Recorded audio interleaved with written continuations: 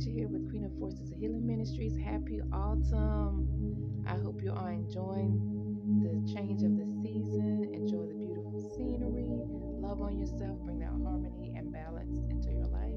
It's Libra season. Aunt, my aunt. Take advantage of my special going right now. Half off all healing services, whether it be healing ritual, energy healing, mental wellness, click the link, book your session.